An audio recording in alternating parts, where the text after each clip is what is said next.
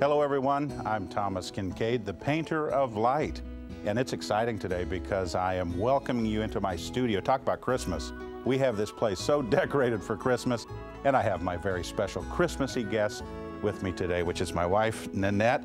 Nanette and I have had so much fun over the holidays, and we just wanted to open up our home, open up the studio, and welcome you to a celebration of the holidays. Nanette and I love Christmas. We love the holiday traditions. It's a time of families, fond memories, and a time to celebrate the good things in life.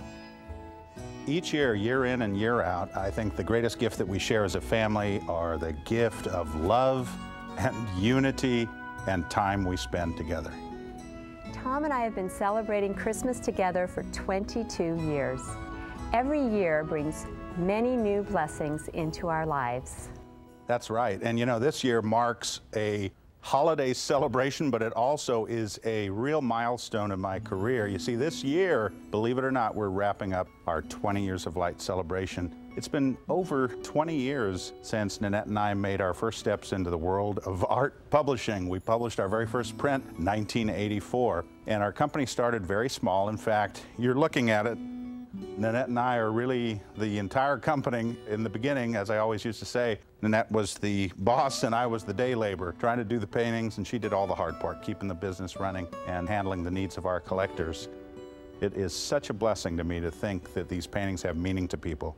They go into the home and become a part of the family, a member of the household, part of the culture of the home, bringing a little peace, serenity, hope, and beauty into real people's lives, meeting people right where they live. Christmas is also a time to reminisce on family memories. Our holiday traditions date back to our childhood in Placerville, California.